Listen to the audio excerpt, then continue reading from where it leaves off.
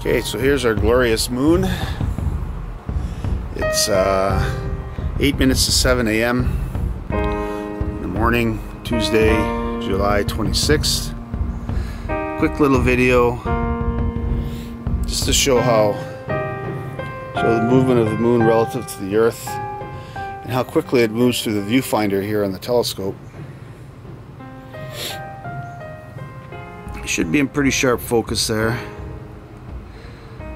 before I took this video I was taking a lot of uh, still photographs at different magnifications to inspect some of those craters and that line of uh, that that I don't know what that is that line in the top right quadrant of the of the image.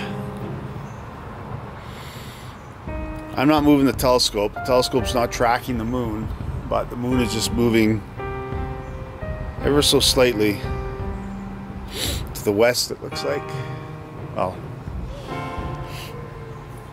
from my position, but it's nice. You can see a lot of the detail in the craters when it's not a full moon because the, if you look right along the shadow side,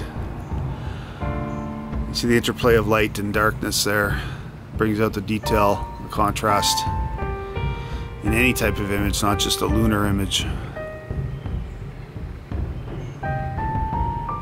Quite fascinating.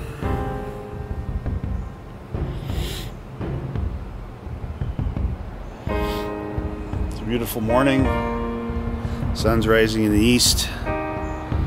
A few more days until my vacation, and I'm really looking forward to it to do more of this. Anyway, that's all for now. It's almost been two minutes, and I'll stop it right at two.